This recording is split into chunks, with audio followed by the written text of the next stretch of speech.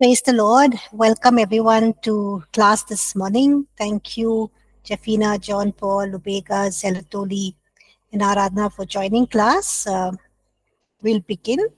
Uh, can I ask uh, John Paul to lead us in prayer, please? Yes, let's pray. Heavenly Father, we want to thank you for this morning as we come before you.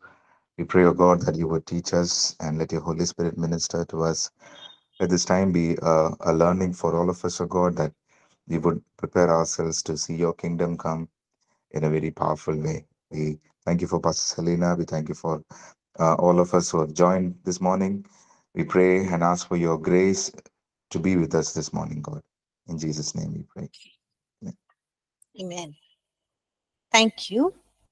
Um, so we were looking at uh, the developmental needs of uh, children in various age groups. We began by looking at the common developmental uh, needs for um, children across all ages, and then we look specifically at uh, the physical, emotional, mental, um, social, and spiritual needs of children um, in ages three to four, and five to seven, um, eight to nine, and um, last class we began before we ended class we began looking at uh, the developmental needs of children uh, ages 10 to 12 so basically uh, children who are um, ages 10 to 12 are in grade 5 to uh, 7 okay? So how many of you work with teens and preteens? Are working presently have worked with uh, preteens or teenagers before or presently working with them? Okay, Jafina, anyone else? Okay, Lubega as well, thank you. Any of you in class have children who are preteens or teens? Anyone? Oh, Lubega, okay, nice. Okay, so um, what do you think are uh, the characteristic uh, you know or the characteristics of uh, children uh, ages 10 to 12 preteens? We've all been preteens. So what are the basic characteristics of uh, preteens even if you don't uh, have children or preteens or even if you are not have not worked with them or working with them what are the basic characteristics? We've all been through a preteen and teenage stage so we should know. Yes Jafina um, i think it's a it's a stage where you search for your identity mostly during the teenage i i kind of feel like that. Like what do you want to do and what you're doing and i think it's a stage where you also take some decisions uh, by yourself. You don't depend on your parents much once you become teen. I remember when i turned 13 all my brothers and they were all surrounding me and they said hey you turned 13 now. And uh, i kind of felt like oh we've grown up suddenly all of this sudden. And i think it's the stage uh, you also want to be mature you get much more maturity about life maybe. And uh, also a stage where i accepted christ was in my teens. So i think a stage of confusion even like a lot of questions what life is what we are doing what's happening why we are living all these questions i had when i was a teen. Before that i never had. Before that i just go to school i come back life was nice. And then once you become teen you have a lot of questions like who's the real god why there are so many religions for what we are living all these questions pop up. And yeah so i think that's how teenagers yes i think you you said shared so much about the characteristics of the preteens and teenagers. Uh, good uh, it's quite fresh in your mind i think yes. Divya says friendships are very important. Yes they're trying to find their place in the world. Yes very true Anything else? According to me, they are very, very inquisitive. They would like to know a lot of things. Uh, they are also good at shopping. They want to shop almost the, all things in the supermarket. They also they they don't go to church to learn the word of God. They only go there basically for fun to to sh- to show off anything that bought them the new stuff, the clothes and the like. They also like visiting, but not to stay there. They feel safe, according to mine, because mine they're all girls. They feel safe when they are home with mom and daddy but they also want to go out. They want to go like you take them to the beach, but when you are there, like mm, like uh, looking after them, they they want to shop a lot of things. One of my smallest thinks that the whole money in the entire world belongs to daddy, and he keeps it in the bank. So when he says has no money, he says, "Why don't you go to the bank and you bring that money?" so that's how they are. I think you're having fun with your girls, Lubega. they are typical girls. They love to shop. Sorry, love to buy. Uh, nice. Okay. Uh, yeah, like you said, it's an. Uh, you said it's an age where um,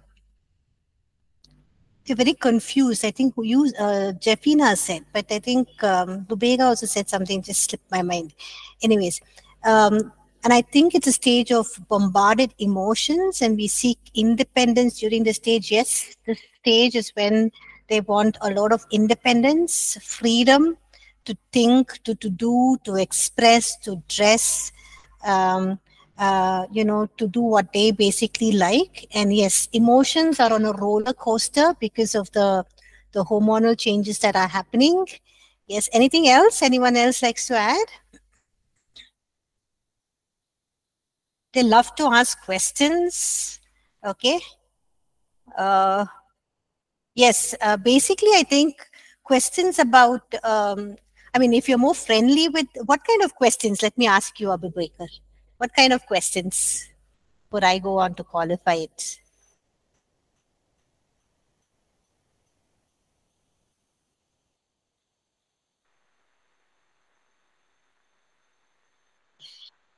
Different question, okay. ma. Morning. Different okay. question, ma. They, okay. They so basically, like They want to like. They like to hear new things. Okay. Like Thank I have you. my one my daughter here is uh, between ten to eleven, and he always ask questions about life. Daddy, what about this? Daddy, what about that? Uh, I heard my friend saying this. Uh, uh, what's the meaning of this? So they used to, he, he, at this stage, used to, she used to disturb me always, every time with different, different questions. So with, about life, about even about uh, about uh, universe. Uh, uh, why why sun normally come out from the east? Why it go down from the uh, so different different questions. So he used to bombard me with different different questions. So, questions. And between ten and yeah, I think you are beginning to feel like Google. With all your children asking you a lot of questions. Yes. Uh, like Lubega said, you know, they're very curious. Yes, they're very curious to know about a lot of things because they're beginning to think more logically, and that's why they are asking more questions. And their questions can be never ending, but their questions can also be like, you know, uh, if you tell them not to do something, they'll ask you, why shouldn't we do it? Why can't I do it? Why can't I go there? Why can't I wear this? Yeah. Jeffina says, I think when it comes to questions, we also love to figure out the answers by ourselves than just relying on someone's perspective. Yes. Yeah. Basically, they um, they like to be like to challenge others with their own thinking their own understanding and that's why they ask a lot of questions but also they're very curious to know things to know about the world and what's happening because they're learning fast and uh, they're learning to be independent so they want more information and if they're not very close to their their parents and their parents kind of put them off and don't discuss things with them and their teachers are also annoying and not very friendly and not approachable uh, in terms of discussing, hearing them out. Uh, they will look for answers in Google or uh, with friends, basically with friends, and that's when they are led astray to all uh, wrong kind of philosophies and ideologies and um, thought patterns and systems that are not really um, right. Yes. Anything else anyone else likes to add? Yes, Divya? Thank you, ma'am. Uh, just uh, in terms of the question part, I was also thinking uh, about the curriculum that we have here. So it is uh, basically built on uh, these three uh, pillars knowledge, uh, understanding, wisdom. So uh, it's kind of, uh, I think the elementary age, uh, they teach the what, the what of things. Like they have to memorize a lot of things during the elementary age. Then they go into the, you know, the middle school where they have to understand like the why, why is it like that? Uh, so that is the understanding part. And then uh, when they go to the higher grades, uh, they um, uh, uh, they teach them uh, the how like how to apply what they have learned from their you know elementary ages. So it's a biblical uh, like a christian curriculum but it's built on these three pillars like knowledge understanding and wisdom. So i think they're trying to cater when when you're saying these things i'm trying to relate like maybe they're trying to cater to the needs you know of those age groups uh, even we know how in the bible it goes with proverbs yeah knowledge understanding and wisdom so the what how and why yeah yeah thank you Yes, thank you. Uh, uh, this age, they are more like, uh, you know, uh, they, uh, uh, you know, bringing to think logically and reason out things. And that's why they are more practicals and all, you know, they begin even theories for this age group, uh, grades five uh, to seven, they, the preteens, and then of course, uh, beyond that, uh, um, uh, eight to 10, uh, the grades eight to 10, they begin to do theories, proofs, you know, um, uh, trying to do various practical uh, uh, experiments which they can learn. So they're trying to reason out things, not just like when they are in the elementary classes where they are in a you know in a very fantasy mindset where they're very they just accept everything you know you just give it to them. They just if you tell them the grass is green because god made it they uh, they will accept it. But in this age group you know they will think about photosynthesis and you know all of those things and um, all of those um, uh, uh, little little aspects you know just not that god made it green but it's green because of you know they try to prove things and think to things uh, more logically and reason out and uh, prove things for themselves. Yes. So uh, uh, children ages or preteens ages 10 to 12 uh, you know they move from childhood to um, you know to into the adult world. Um, some of them really want to be uh, adults so they began they begin behaving like adults even when they are in grade 5 uh, 6 7 nowadays we have children in grade uh, 5 6 7 who are be- behaving like adults. So some of them clearly want to behave think act like adults you know. Some of them uh, still in the very playful child uh, childish mindset and they are forced to uh, get into this whole transition um, where they are trans- transitioning from you know being children being kids into being um, you know adults. Um, and it's a very difficult phase a challenging phase. We all went through that. Um, it's quicker now than i think when i was in school. Children are reaching um, puberty even more quicker and faster than you know when i was in school. And uh, for them the world around them becomes very very complex uh, it becomes more complex for them even as they're trying to understand like uh, jeffina was saying their identity who they are you know where they are what is their purpose what they're doing here and things like that okay? So what to expect in this age group? Uh, basically girls develop uh, physically faster than boys physically faster than boys. Boys of this age uh, can be very competitive and success can be very close to their heart. They you know uh, uh, when we say this we're not saying you know everyone is like that but uh, we are saying most of them you know uh, can be very the boys can be very competitive and success can be very close to their hearts. And if uh, and it's a matter of great concern for them if they're not being successful in be it in their studies or you know if they're learning a skill like a sport uh, uh, like um, uh, playing an instrument or you know some skill or activity that they're involved in or some games and they're not um, you know uh, they're not growing in that they're not um, furthering in that or they're not moving up you know uh, they can be really concerned and worried and that can uh, you know trigger off mood swings and um, their reactions and they can be very negative and um, um, they can snap back very easily. So this can be one of the reasons for the boys especially.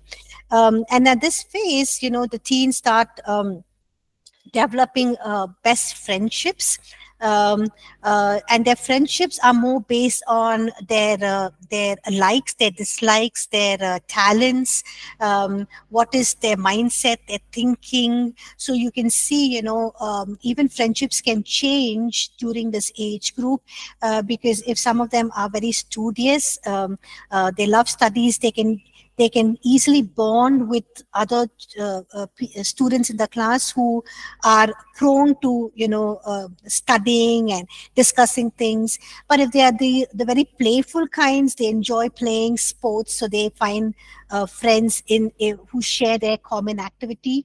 If some of them are the partying kind uh, you know they love fashion they love dressing up and all of that so they find their friends. So it can also be a concern because many of them who have been very friendly uh, from grade um, uh, or kindergarten to right up to grade five, you know, or grade six, and slowly they find their uh, best friend, you know, um, no longer spending time, but they're moving out to different um, groups, talking more with others than with, um, uh, you know, um, their own their, their own best friend that they had during all of these uh, um, uh, school years, it can be very concerning and very worrying and uh, painful for those who are uh, feeling left out because their friend has is kind of finding others um, uh, engaging in, in, in means of discussing and going around with them. So this can be a major issue, and uh, it can also be an issue in the uh, in the children's church. And so you'll need to help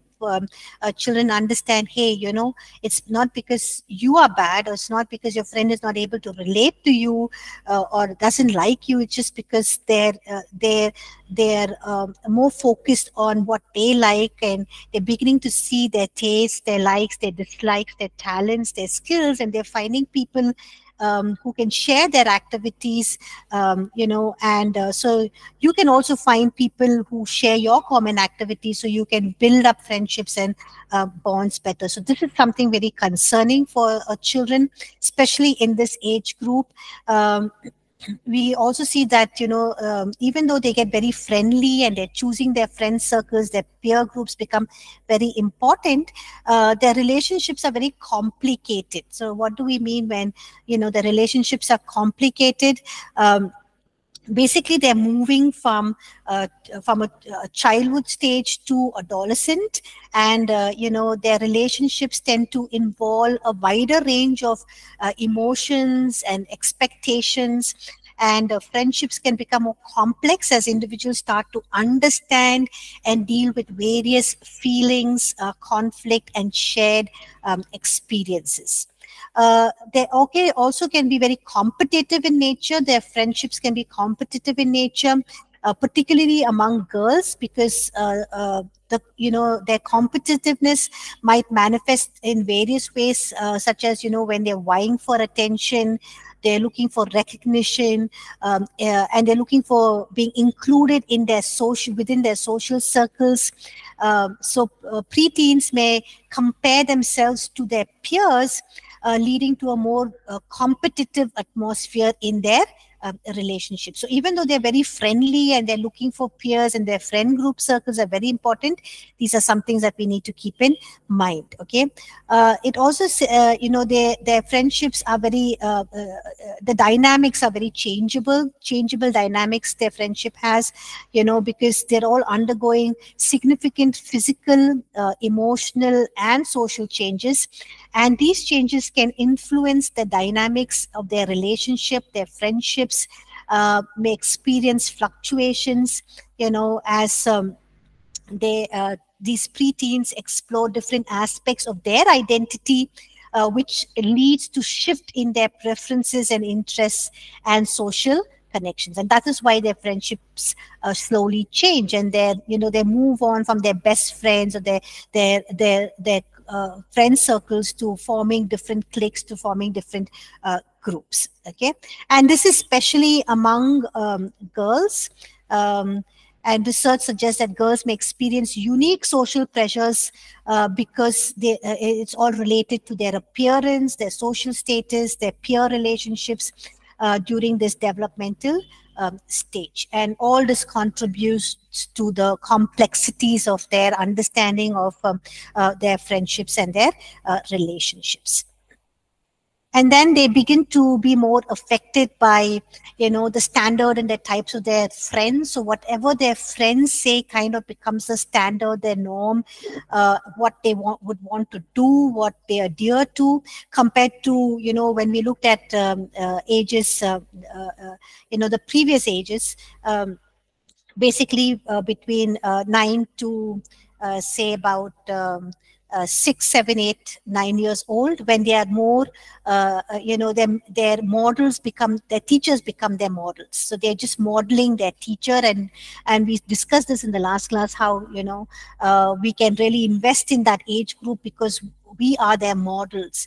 Um, but when they come to preteens, suddenly, you know, their friends uh, become more important. What their friends say, do, um, uh, you know, uh, even talk about uh, uh, things in life, what they say about uh, them in particular, uh, all holds deep uh, significance and influences them very deeply.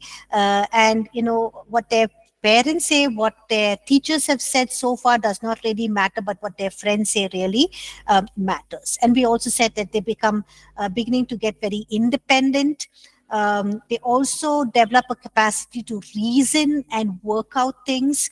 And um, you know so this can be accompanied by some very uh, cheeky smart talk uh, which they didn't have you know uh, when they were uh, 10 years old i mean uh, when they were um, yeah, basically when they were six, seven, eight, nine years old, they didn't have this uh, uh, sense of cheeky talk in terms of, you know, uh, reasoning out things with you, wanting to have their way. So, uh, you know, uh, we can get a little intimidated and angry, but, uh, you know, we can also discuss with them in a very more fun, smart way, you know, catching their smartness and um, uh, just discussing and talking with them can also be very interesting and they can be fun to be uh, with okay? Um, the next one is that you know um, the goals for this age what are the goals for this age? They um, learn more about their strengths and their gifts they're learning to get along with others well, even as their emotions on a roller coaster. There are a lot of physical changes, you know, mood swings, um, which they tend to snap back easily, uh, fight back because they're learning to be more independent. Uh, so they're learning to get along with their friends because their friends are very, very important for uh, them okay they're also learning how to resolve conflicts not only with their friends but specifically with their parents yes with their parents because uh, they're moving on to independence and uh, the parents are struggling they are struggling. Um, so you know you need to help them uh, how to resolve conflicts how to handle their own emotions in a in a very mature in a very nice uh, healthy uh, way. They're also learning uh, you know to they're also understanding uh, the differences. They're learning to accept their difference have straight hair, why they have baby curly hair, why they have big ears, not small ears, fat nose, you know, their skin color tone, their eyes, uh, the way they look. Um, some children can feel that the others in the class are growing faster than them, why they are not growing physically, you know. So all of this can be a huge uh, uh, problem. Uh, you know, specifically, um, their looks can um, uh, be a major concern for them. So, you know, it's important at this uh, ages uh, 10 uh, ages 10 12 13 14 15 you know to do a lot of um, uh, teen sessions with them where you can talk about self-image self-value how to handle emotions how to resolve conflicts media you know uh, a relationship with their parents how to handle conflicts. So all of these topics can be useful and of course you can uh, speak um, uh, uh, generally with uh, on these topics but also you know base it on biblical principles and use biblical narratives and uh, uh, you know show them from various scripture passages what god has spoken about them and how they can handle their emotions and stuff like that. So teen sessions are very very important and we do have teen sessions um, for our uh, children's church in this age group where um, uh, apart from the normal uh, children's church curriculum we we used to have additional uh, teen sessions uh, for them okay? Because they're basically trying to understand how different they are and accept their differences their strengths their weaknesses just love and accept themselves for who they um, are now, we began looking uh, uh, at a few points last week, and so we'll continue from that. We looked at all of these points. Uh, basically, we we stopped at how children in this age, uh, you know, enjoy competitive sports and uh, uh, team games. So they're very competitive. They love team games. They are very athletic. So you can use games and activities that you know are competitive in nature and also team games. Um, also, they you know um, you know encourage um, uh, group participation. Uh, uh, uh, sorry, encourage participation in group chores in the classroom. Um, you know, like uh, getting them to clean up the area each week, like for uh, for in our children's church we used to request them to help up and pack up and you know stacking all the chairs and uh, you know uh, just kind of rolling up all the uh, power cords uh, putting back some of the stuff in the storeroom because we don't meet in our own uh, uh, facility. We we rent out other spaces. So we have to do setup and pack up. So we ask children in this age group you know to help us. Um, and so they can you can give them uh, you know some responsibility teach them how they can uh, serve in church. It's a good time to teach them to serve in church. They need a little uh, push uh, because you know they're not very uh, enthusiastic like um, uh, children you know in in grades um, three four um, uh, and five you know they are they're more enthusiastic. The juniors are more enthusiastic than the preteens. So uh, this group you really have to motivate them. But if you can get a whole lot of them to do it then you know it becomes like a culture. And because their other friends are doing they would also like to do it. You can also get them to, if you're serving snacks, you can get them to help in serving snacks, or doing PowerPoint presentation, or you know, um, setting up the LCD projector, the laptop, and all of those things. Uh, just get them to uh, take on responsibility, teach them responsibility um, uh, in church, how they can, uh, you know, help at church, teaching responsibility for self and others in the group also will really uh, help them. Okay uh, practice service to others. Um, you know, you can take them for uh, short um, mission trips where they can, or evangelistic uh, trips where they can go to, you know, orphanages, um, home for the elderly, uh, those who are uh, uh, the the home for the needy, um, you know take them show them let them uh, minister there care for them help out in some way in these um, uh, homes. Also uh, you know get them to mentor younger children uh, encourage them. So when you're having group games for the entire children's church you can have preteens and teens uh, uh, helping their younger ones. Uh, whether it's a Bible quiz or a game or an activity, uh, you can get them to um, you know be in charge uh, take responsibility uh, also get them to supervise younger children. Uh, for example if you are uh, you know uh, going out in the open space so you can uh, get them to help in leading the the kindergarten the grade 1 the grade 2 to the place where you're having a common activity and all of those things and just overseeing the children there helping them out and things like that okay? Um, also get them to pray together and individually um, also get them to lead out in group prayer. So you can have them pray for um, uh, you know various needs in children's church in the common gathering or you can get them to pray for the offering or uh, you know some child who's uh, uh celebrating their birthdays you can get them to do that okay um, also a good age uh, for them to memorize uh, a lot of scripture. Uh, so you can have bible quiz uh, you know get them to memorize long passages uh, psalm 1 psalm 23 the books of the bible you know uh, the fruit of the spirit the gifts of the spirit what is love uh, you know you can get them to memorize all of these scripture passages uh, get them to also memorize some of their favorite verses in the bible a good age for um, uh, getting them to um, do this okay uh, the next one is, you know, it's important to teach them to treat others kindly, both in and out of class. Of course, uh, they treat their friend groups very, very well. Why do you think they treat their friend groups very well? Why do you think they treat their friend groups very well? Even if somebody in their friendship groups, uh, you know, disagrees with them, they might not literally snap back or fight back. In, uh, they might say things in a in a very strong way, but you know, uh, yes, they need acceptance. Yeah. If they're not accepted by their friends, thank you, Divya. They need acceptance. If they're not accepted by their friends, it can be a huge, um, you know, emotional turmoil for them, a concern for them, uh, because friends are very, very important. Uh, friendship group, peer groups are very, very important for them. They, it gives them a sense of identity.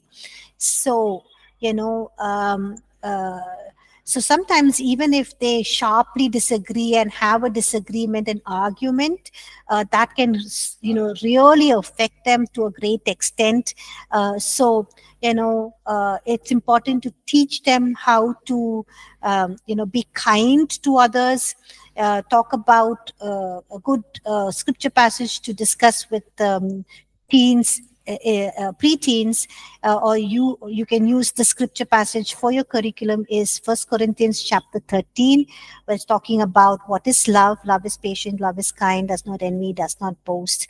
Um, so you can talk about uh, love. You can also talk about jesus's commandment about loving one another you know um, uh, also talk about how to resolve conflicts in a peaceful and a mature way uh, how Jesus did it, how uh, the early church did it. You know, uh, you can talk about various narratives in the Bible. So this is when you're thinking about the curriculum, you can think about uh, these points and keep these points in mind. Also, uh, you know, talk about um, how to speak the truth in love. Ephesians chapter 4, verse 15 okay? Yes it's important that you can you speak the truth speak your mind speak what you you you feel you understand you think your you know what you are uh, trying to understand. You know you can share it you can speak it you can discuss with people uh, but you know how to do it in love also uh, help them how to express their frustrations and, and their anger uh, using calm words how to calm themselves down how to uh, you know discuss uh, keeping others perspective in mind uh, you know and also seeking a resolution also help them to um, and uh, you know develop these spiritual disciplines of uh, praying reading the word you know how to serve in church evangelism uh, you know giving of their offerings. Even if you want to help them to tithe some of them get their pocket money um, how to tithe so you can help them. Uh, and i think basically they would learn all of these things when you take them for mission trips you know uh, and show them uh, it has a huge impact. I remember when I was in Bible college, uh, you know, I was going through a very difficult phase in my life, and um, um, they took us to Mukti Mission, you know, uh, and in Mukti Mission, um, um, this is a home in in very close to Pune, the city of Pune, um, a home for uh, uh, uh, you know women who are uh, widowed, who are abused, uh, who divorced, and you know the girl child who's just abandoned.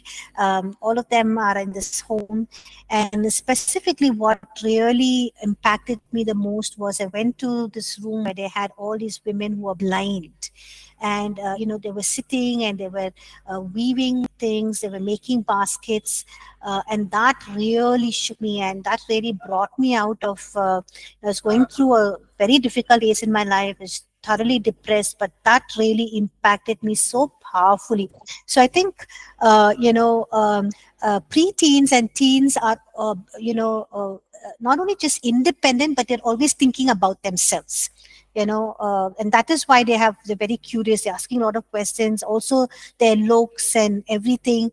Uh, so if you divert their attention uh, to you know uh, uh, homes and children and you know, people in need um, you will teach them the the value you will teach them the importance of valuing what they have um, uh, being um, you know uh, happy with what they have content with what they have and how they can give to others. So i think uh, you know even uh, when we have um, uh, preteen and teenage ch- children at home you know they're basically wanting to buy and buy and buy and shop and shop because they're having this competition with their friends basically among girls you know and they want to look the best they want to be the best the best dressed and one every they're vying for attention. Uh, so they want everyone looking at them. And like lubega said they go only to church because you know um, uh, it's not to worship god but because of friends and attention seeking.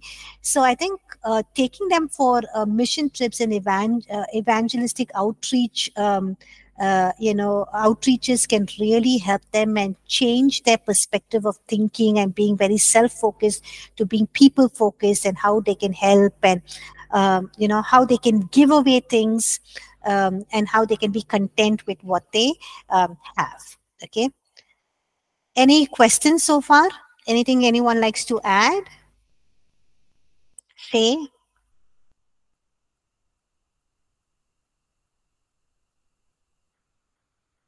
Nothing?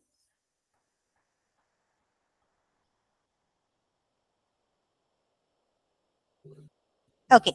Uh, there are no questions, queries, no one wants to say anything, we'll move on. Okay. Uh, children in uh, teens, uh, pre-teens in this age, sorry, pre-teen in pre-teenagers, you know, um, uh, they're able to understand more abstract ideas compared to the previous age groups you know um, where they understand concepts more better uh, and which needs to be reiterated and you know uh, help them to understand in a more realistic way. Uh, these children are able to understand more abstract ideas so you can uh, begin to talk about the trinity uh, you know um, all of the doctrines like redemption atonement sanctification uh, the person and the work of the Holy Spirit. You can also talk about the prophecies, uh, covenants. Um, also give them a broad uh, uh, view of the entire overview of the entire Bible uh, about the historical settings, you know, and um, how, uh, you know, the Messiah, um, that was Jesus who you know the incarnation of jesus happened at a specific time in history but how it was uh, you know uh, uh, prophesied or it was made known from the very beginning that is in genesis itself in the garden of uh, eden so you know uh, when adam and eve sinned so uh, how the bible talks about jesus from the very beginning also they you can teach them about the various books in the bible um, and how and who wrote the various books, how it was written, why it was written. Um, so you can get into deeper uh, teachings of the Bible, and basically you can teach them uh, some of the courses that you are studying in the Bible college as well. Also, provide them with um, you know. Um, uh, answers to deeper questions like who is Jesus, why did he come, you know, um, uh, why and how does God love me uh, compared to other people who are loving me based on my looks and my social status and what I have and how I perform in school and how I behave and how good I am, you know. Um, also, their purpose in life you know why they are here because that's a big question for them. You know why am i here? What am i doing here in on this earth at this point of time? Why am i living? What is the purpose for my life? So something that you can um, uh, talk about uh, in your curriculum you can have these points uh, as well these topics as well uh, some of the spiritual messages they need to hear is uh, that you know the salvation uh, message. You can share the salvation message with them uh, in a deeper uh, in a more clearer way way that they can understand. They can also you know lead them to accept jesus christ as a lord and savior. And many of them would want to accept jesus christ as a lord and savior in this age group. Also you know talk about um, you know god's wonderful plan for their lives you know, and that God will never leave them nor forsake them.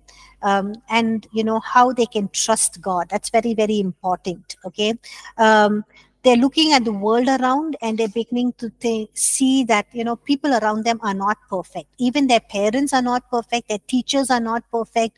You know nobody's perfect in this world, and who they can trust you know who they can trust with their feelings their emotions what they're going what they're thinking you know um, some of them can uh, be thinking a lot of uh, unhealthy thoughts you know who i can share with what am i what i'm going through physically emotionally mentally.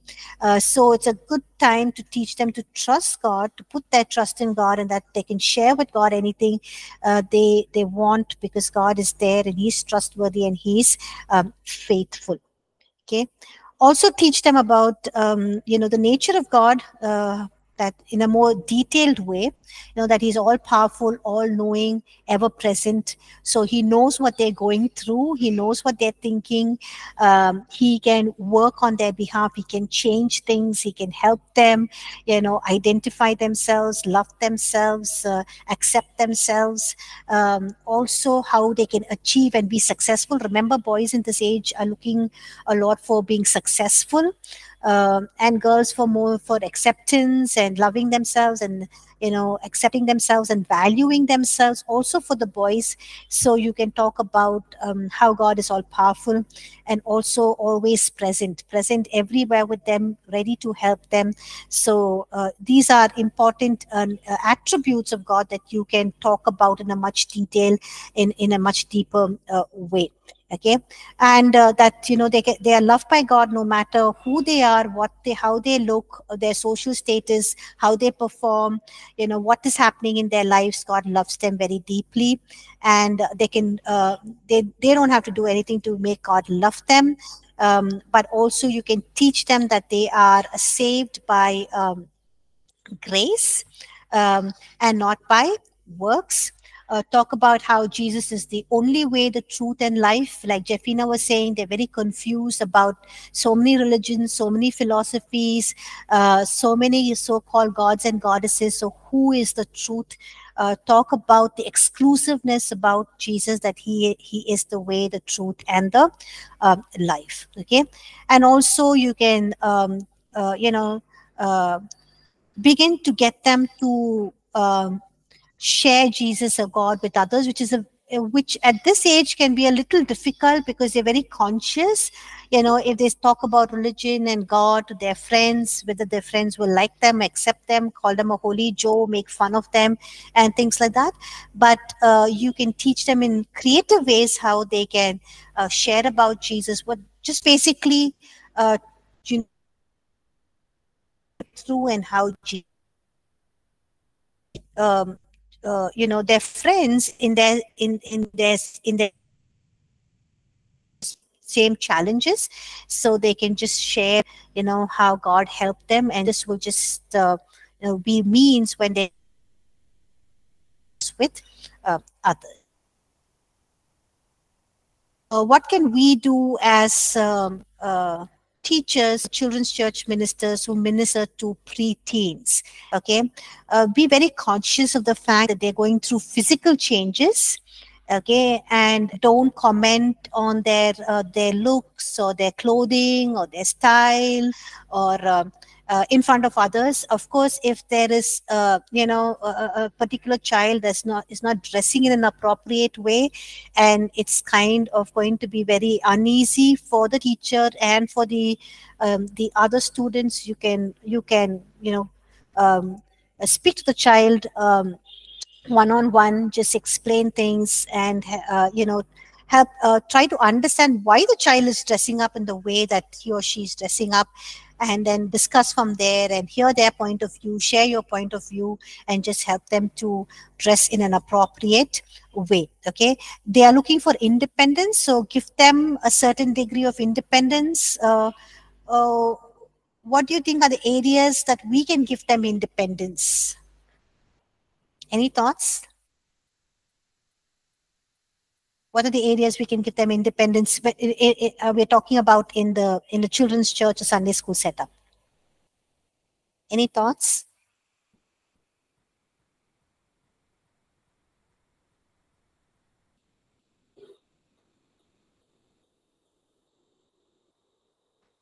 Um, I don't know if I'm saying the right thing though. so when I go to the pre-teens, like when you go to like I was in beginners as well, you can tell the child where they have to sit. If, if you want to come friend, you can tell. But when I go to the pre-teens, they they have specific spots. They have their friends. They want to be around them, and I just make sure they can listen the class from where they are. Sometimes they go way too far and i tell them to come little friend. But that's one of the area i think i give independence whenever i go. Like you can choose where they where they are comfortable where they can sit. That's one of the thing that immediately comes to mind. Yes very true. Thank you jeffina. I think that's uh, so important. They uh, so you can see one going sitting right at the back, uh, you know, and there are hardly five or six students, and the other five are sitting in the front, and there's one right at the back there. Okay, so maybe you can just allow them. What do you think? You can just allow them to sit down there.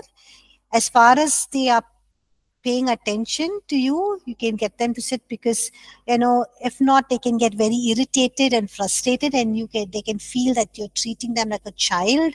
They would want not want to come back to your class. Okay? Any other areas?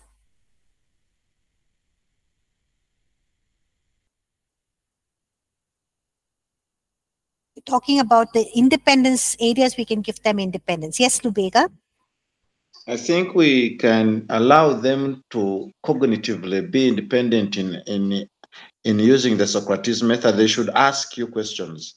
You wouldn't back them off, say you over ask, you do this or that. You should allow them to ask questions. Of course, as a as their trainer or as their tutor, you can guide them, tell them that let's ask on this very topic.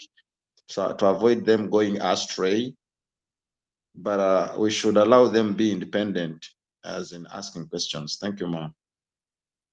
Yes, thank you, Lubega. I think that's very important. Uh, get them to ask questions. Do do preteens and teens ask a lot of questions in class?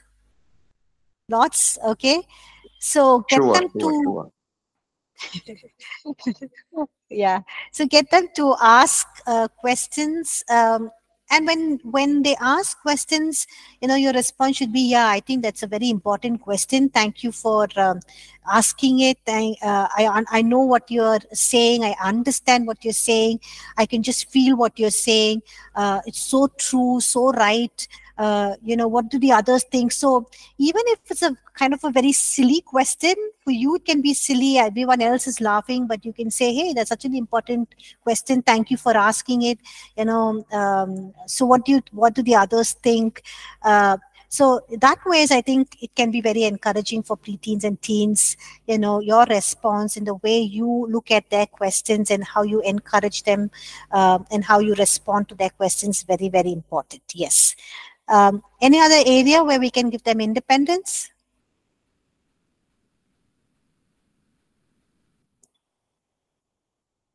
Okay, I think uh, you can think of that during the break and uh, we'll meet after the break. Okay, thank you everyone.